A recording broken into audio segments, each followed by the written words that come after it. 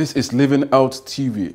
Welcome to Health 101 with me, Dr. Gbenga Adebayo, brought to you by Livinghealth International, your number one health and wellness solutions company. Today, we want to ask Can vitamin C harm you? Stay tuned.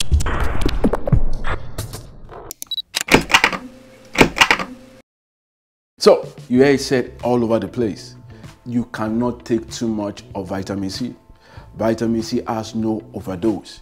You can use it and use it and use it. And a lot of people have come to believe that.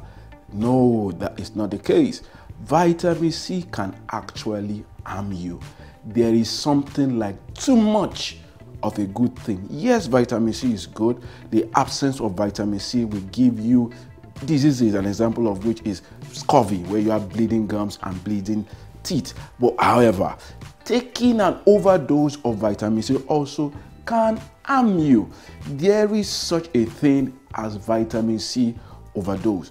You don't want to take too much of it all the time. Just popping vitamin C. You go on the streets of Lagos and around us, you see people selling glucose vitamin C tablets, and some people keep on taking it.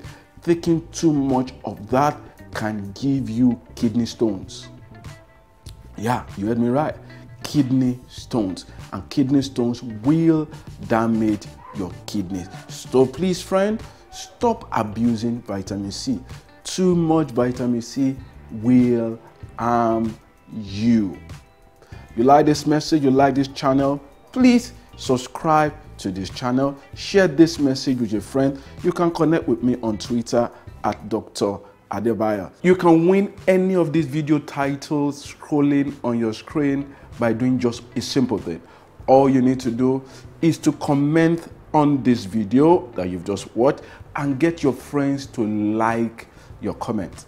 The comment with the most likes, but the next time we are posting a video on this playlist gets to win any of these titles. You choose what you want and it will be delivered to you free of charge. What are you waiting for?